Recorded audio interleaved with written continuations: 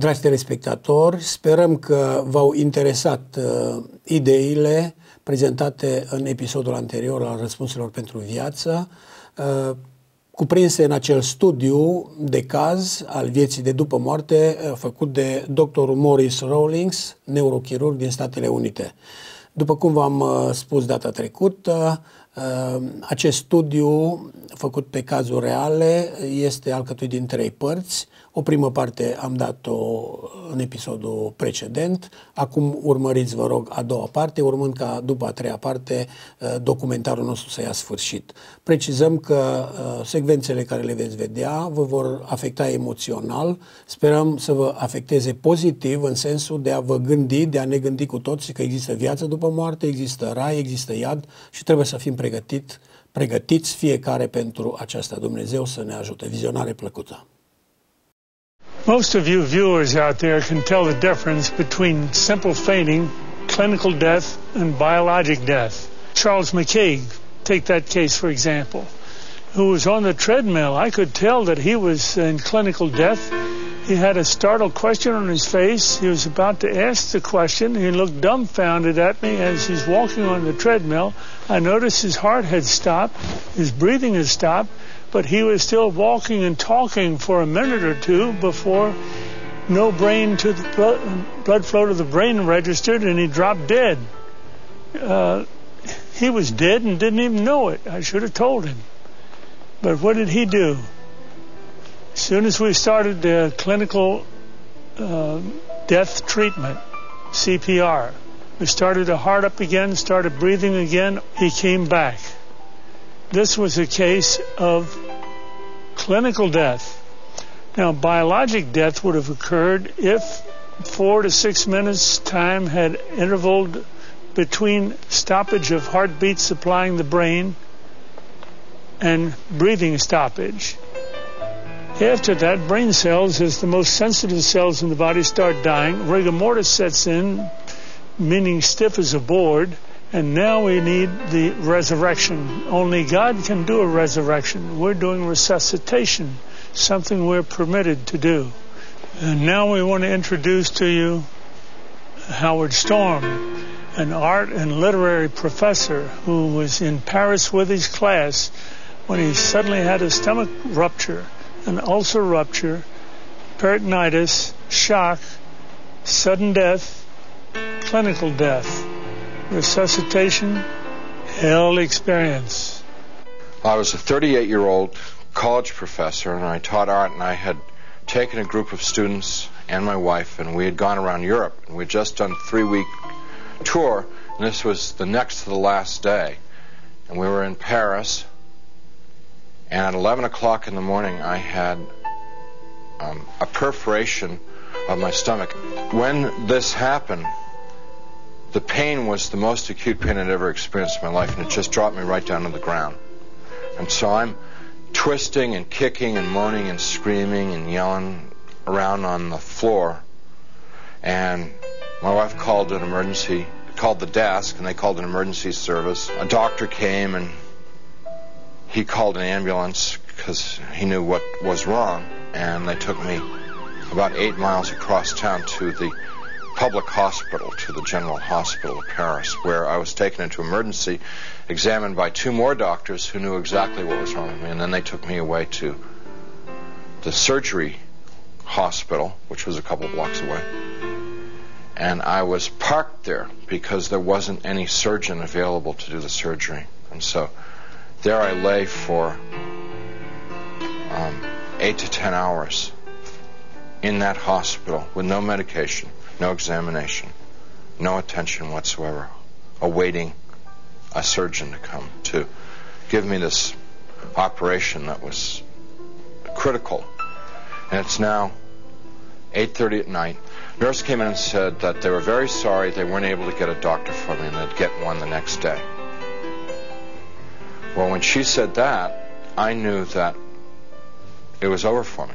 I knew that I was dead. The only thing that was keeping me alive was I didn't want to die. I was scared to death of dying because, as far as I knew, I was a atheist, non-believer, person who lived for their the gratification they could get out of the moment. And you know, like dying to me was like the worst. I mean, next to the pain, dying was the worst thing that could happen to you because it's the end of life, and there was no more. There wasn't anything else. But when she said that, the idea of trying to exist for another minute, another hour in this pain, it wasn't worth it anymore. I'd been hanging on in the hopes that they told me that they'd get a doctor and do the surgery and open me up and and fix the problem inside of me. But when they said they couldn't get one, so I said to my wife, "It's time for us to say goodbye because I'm going to die now." And she got up and she put her arms around me. I'm lying in the bed and she told me how much she loved me, and I told her how much I loved her. And this makes me really sad. And um, we made our goodbyes you know, said those things that you'd say to the We'd been married 20 years, say all those kinds of things. I can't tell you because I'll just start crying, but um, she finally sat down because she knew it was over. And I knew. And it was just so hard looking at her crying like that, and I just closed, closed my eyes. Just let it go. And I went unconscious. I probably was unconscious for a very short while, a few minutes probably. And I was conscious again. And I looked, opened my eyes and looked, and I was standing up next to my bed. And I knew exactly where I was and what the situation was. I mean, there was no confusion in my mind. I felt um, more alive, more real than I've ever felt in my life. You know, people ask me, you know, were you a ghost? I was the opposite. I was just the opposite. Very alive.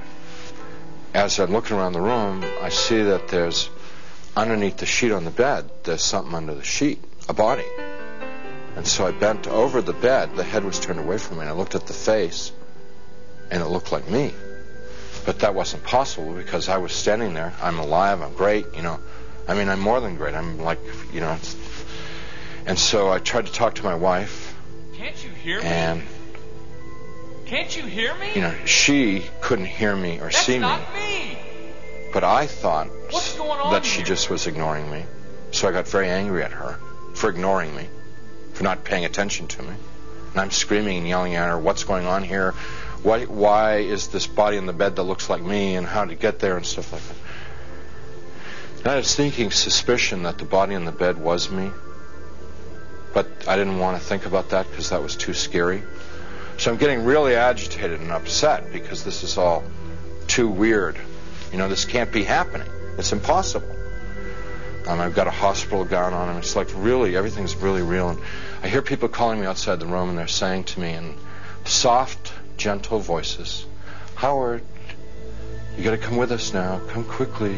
Come out here. So I go over to the doorway of the room, and there's people out in the hallway, and they're um, uh, the hallway's dank. It's gray. It's not it's not light or dark. It's just gray, and they're all in grayness, and they're men and women, and what they're wearing might possibly be hospital uniforms. Um, and I asked them if they were from the doctor to take me to the operation. And I told them, I said, I'm really sick and I'm going to have an operation and I'm going to die if I don't get this operation. And I was supposed to have the operation eight hours ago. And I'm telling them all this stuff. And they're going, well, you know, we know, we know, we understand. You know, you got to come, come quickly. Howard, Howard, come Howard, come out here. Howard, come quickly. Come with us. Howard, we've been waiting for you.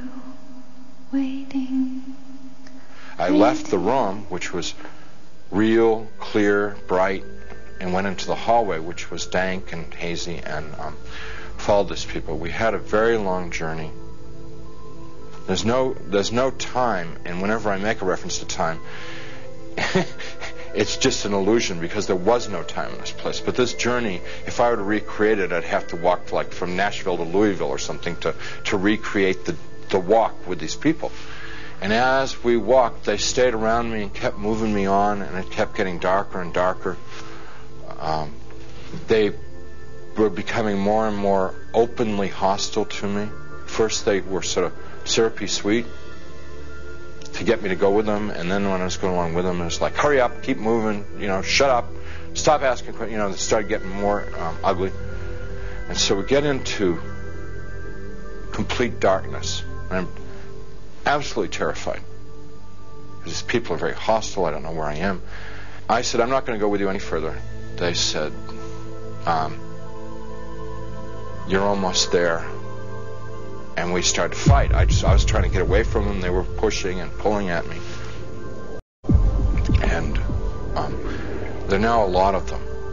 What originally had been like a handful now was, since it was darkness, hundreds or thousands. I don't. I mean, I have no idea. And they're playing with me. You know, clearly they could have just destroyed me if they wanted to. They didn't want to destroy me. What they wanted to do was they wanted to inflict pain on me because they derived pleasure isn't the right word, but they derived, derived satisfaction out of the pain that I experienced. So, what they were doing in the beginning part was it's real hard for me to talk about, and I don't, and I'm not going to tell you much about it, just a little bit, because um, it gets, I mean, just gets too ugly. Uh, but they, initially they were like tearing and biting, um, tearing with their fingernails, scratching, gouging, ripping, biting. trying to defend myself, trying to fight them off, trying to get away from them, but there's it's like being um, in a beehive. Just hundreds of them all over me. And I eventually was just laying on the ground there, all ripped up, um, pain everywhere, inside, outside. And even harder to bear than the physical pain was the emotional pain of what had just happened to me.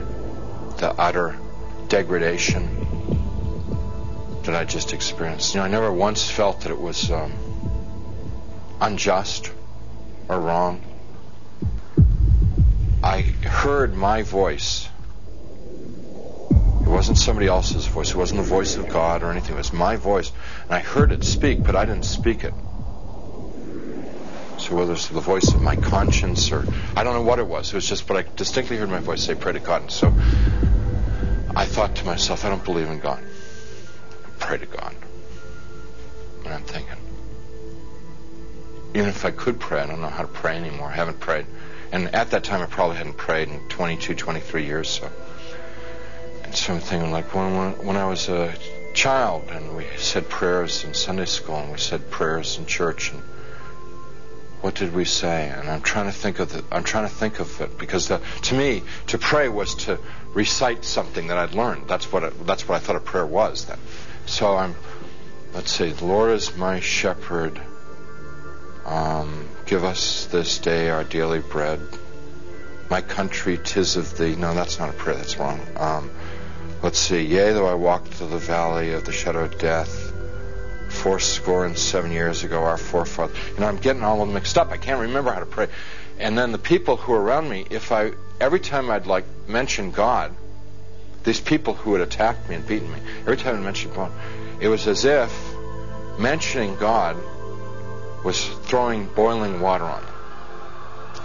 They would shriek, they would scream, they would yell, and in worse profanity than, than anything I've ever heard in this world.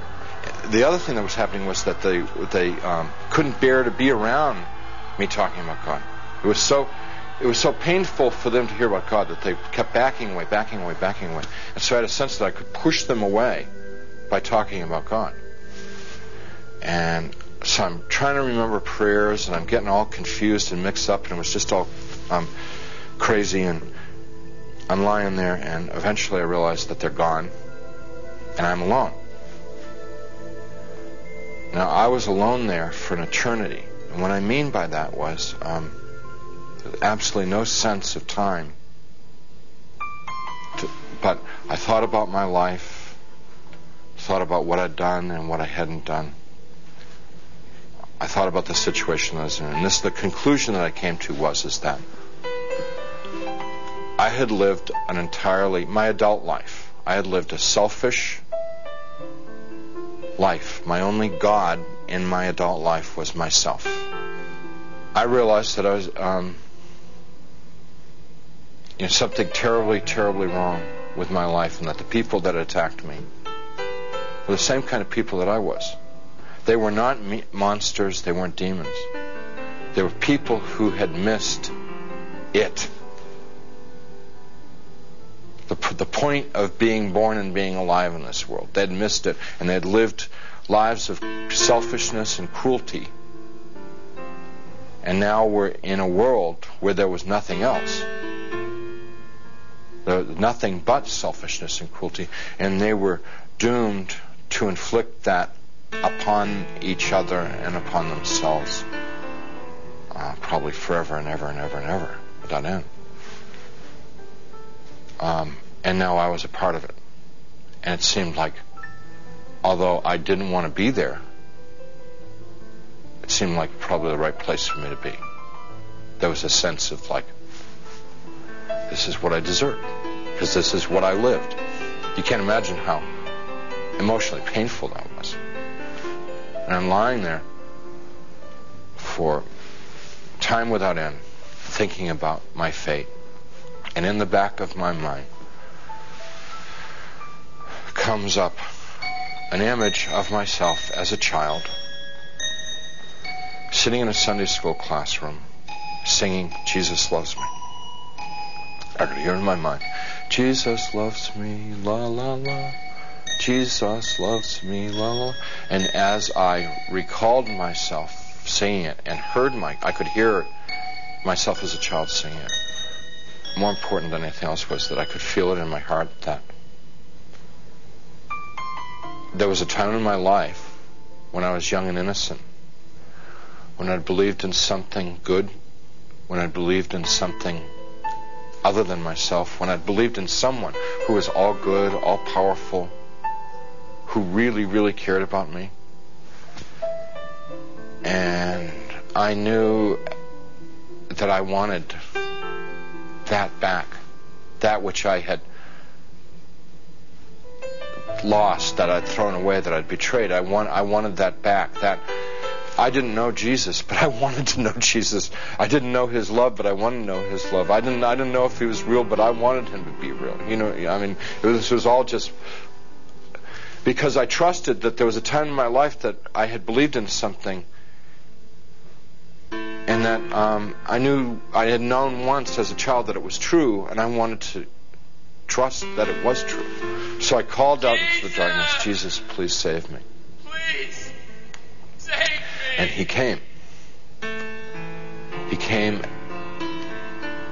First, there was a tiny little speck of light in the darkness, and very rapidly got bright. And the light became so bright that um, if it were in this world, it would have it would have consumed me.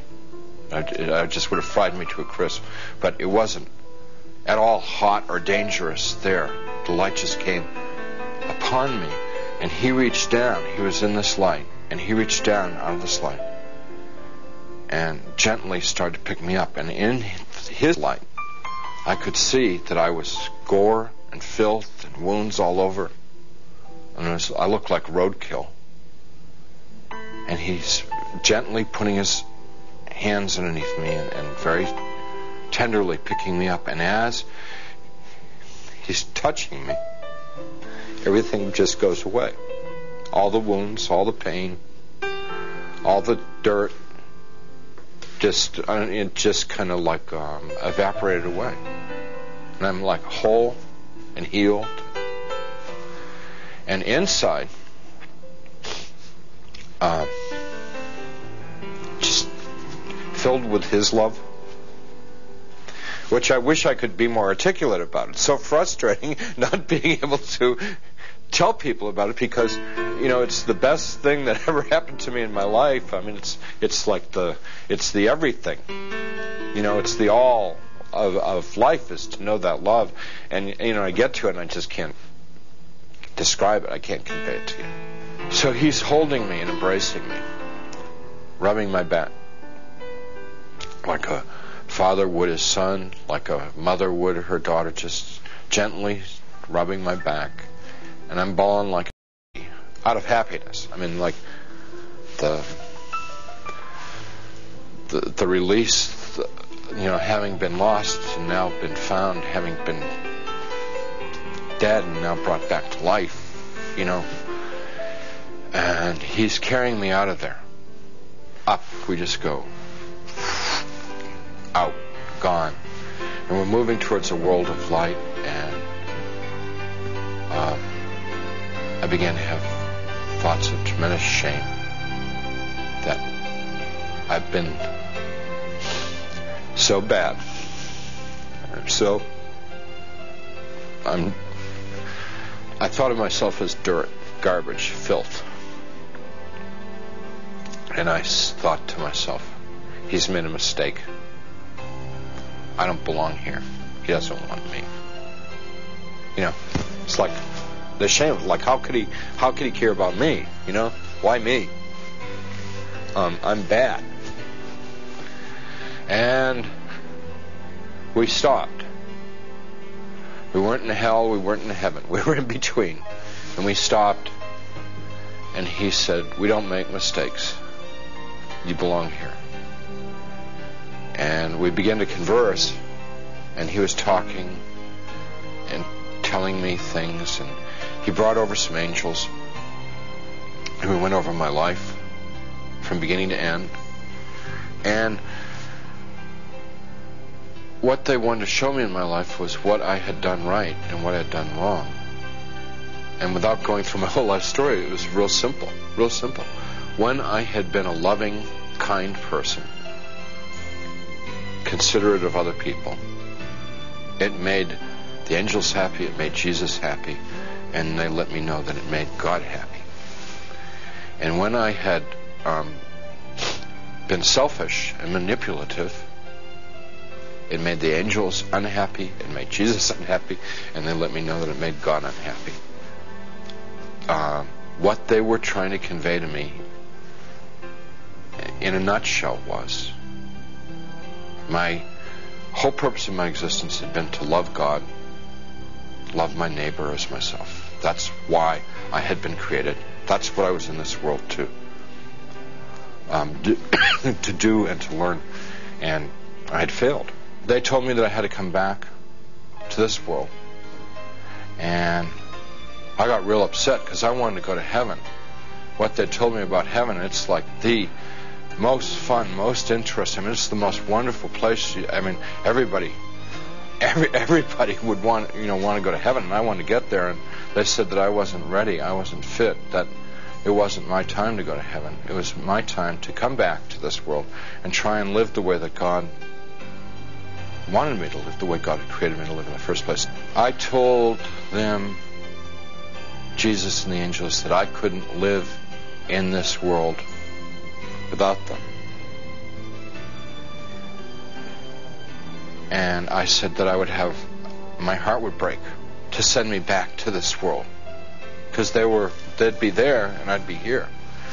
And they said to me, you, you don't get it? You don't get it? What is the matter? We were trying to, we were showing you all this. We were explaining to you. We've always been there. We're all, we always have been there. We've always been with you all this time. And don't, you've never been alone down there. And I said, you've got to, you've got to let me know that you're around once in a while. So they said, if I prayed and confessed my sins to God, gave gave what I had, and, and they meant what they meant by what I had was gave my worries, my cares, my hopes, my dreams, just gave it all up to God. That there would be times when they would be there, and I would know in my heart that they were there. Wouldn't necessarily see them or hear them, but I would, I would, I would feel the love like I'd felt it then. And I said, if you will assure me that there are times when I can know that love, I could live in this world. And I said that they would do that. And with that, they sent me back. After the experience, the uh, nurse who had been in the room a few minutes before and said they couldn't find a doctor and they'd try and get one the next time, she came running back to the room and she said, A doctor's arrived at the hospital, which was like, this is all pretty miraculous stuff. Because this is now like um, 9.30 at night, around 9, 9.30 at night. She said, doctor's arrived at the hospital and we're going to have um, do surgery on you right away. And some orderlies and people came in and they threw my wife out of the room. Um, and it was very disturbing because I was trying to tell them and I wanted to tell my wife what had happened to me. So when um, I passed my wife in the hall on the gurney on the way to the surgery, um, I said, everything's going to be great. And she just started bawling because she thought like that was like a dying man, you know. you know. Strange thing about the experience is the memory hasn't dulled at all. It's real intense. Um, and I don't know, it stays intense. And I believe that one of the reasons that God gave me this experience so that I would have an opportunity to share it with someone. I don't know who, I never know who, but I would have the opportunity to share it with somebody so that it could be of help to them.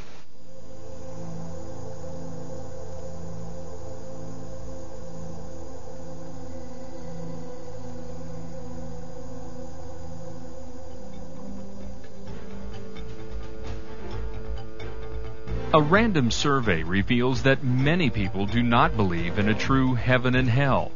Many of those who do believe these places exist have different ideas of how a person gets to one place or the other. I don't believe there's a hell. I do believe there's a heaven. Um, somehow there has to be more to this existence than just you know your short period of time on the earth. It's got to be something, something following it.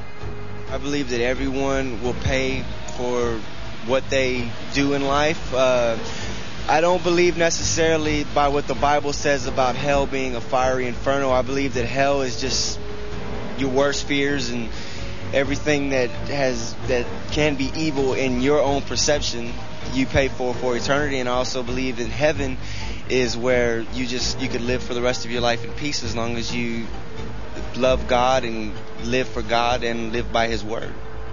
I do believe there is a heaven, definitely a heaven. I'm not sure so much about the hell, how you explain hell. However, yes, heaven, yes. I don't think it's necessary that you attend church to go to heaven or that you believe in the Bible but just live a good life.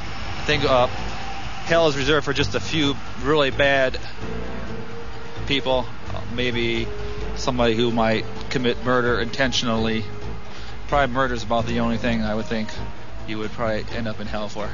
I'm not really sure what really what would define you to go to hell or why you would go to heaven. I, I really wouldn't know. I think there's probably not either a heaven or hell, just a afterlife. I don't know exactly what it is, but uh, I think I think there.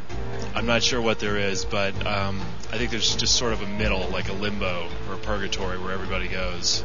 That's neither really comfortable or really uh, traumatic. I believe that everybody, number one, in their own mind thinks of a heaven and hell, and heaven is what makes them the happiest, what they're looking forward to in the future, and what they strongly believe by their belief, whether it be God or some other deity or some other entity, that heaven does exist, and that's what they work for in life. My daughter is a proclaimed atheist, but somewhere in the back of her mind, she knows that there is in her mind what she wants out of the final lifetime. And to me, that is all it requires. A deity is not required. I believe in, in my kind of belief, which is more of a metaphysical belief. I believe whatever how you feel on earth and how you view heaven, what it is, that that's what your it's your own conception. So it becomes that way when you die. So if you believe that there's a God source in you and that you're basically a good person and you're a happy person, that's what happens to you after you go but I don't believe that you're penalized and that you go to some place full of fire if you didn't live your life the way organized religion thinks you should.